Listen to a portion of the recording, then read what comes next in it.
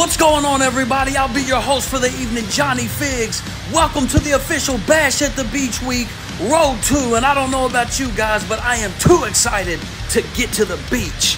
Let's jump right into it. You already know Bash at the Beach comes to you live only on YouTube. But first, that week, AEW Dynamite, a very special beach break with an equally stacked card. Now, let's jump right into it. First of all, I want to talk about the special edition of Dynamite. Let's show you some of the matches that are going to take place on this very special AEW Dynamite Beach Break. The IWGP Heavyweight Championship will be on the line when Kyle O'Reilly cashes in his money in the bank to take on the champion, Naito. And we now know that the fourth man in General Manager Cody Rhodes' championship scramble is none other than Team Taz member Brian Cage. Now, we don't know a whole lot about the match.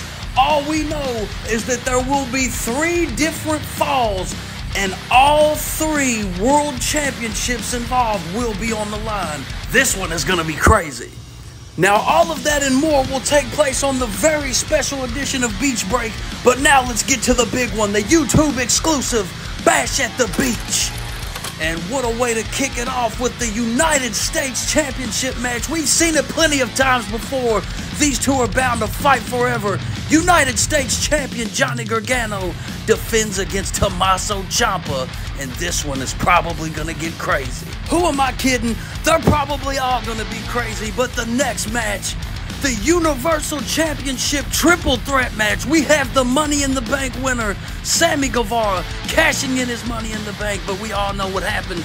Samoa Joe attacked him and used the contract to add himself to the match, making it a triple threat match. And what a triple threat match that's gonna be for the Universal Championship. Sammy Guevara, Samoa Joe, Jon Moxley, one man leaves, Universal Champion. And that brings us to the big one, the main event. Either way it goes, somebody's career is coming to an end, and I don't know which way to call it. The Mad King Eddie Kingston versus our general manager, the American Nightmare Cody Rhodes. Now, I can't imagine either one of these men not being around, but I've got some breaking news, ladies and gentlemen. You heard it here first. This match is now anything goes. As first reported earlier today, as our general manager Cody Rhodes met face to face with Eddie Kingston with the cameras rolling, these two have promised to tear each other apart, and I can't wait for it. After an almost 20 year career on the Indies, Eddie Kingston finally made it to the big stage. Can you imagine his career coming to a sudden death? And what about Cody Rhodes, a man who worked his ass off to get where he is today? One of our most decorated champions of all time. Can you imagine this place without Cody Rhodes?